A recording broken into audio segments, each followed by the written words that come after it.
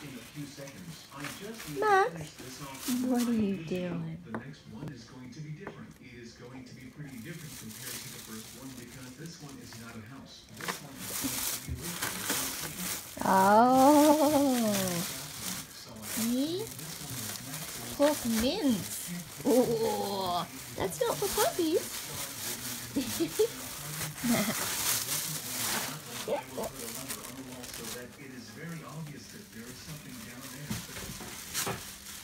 what else is there? Hmm?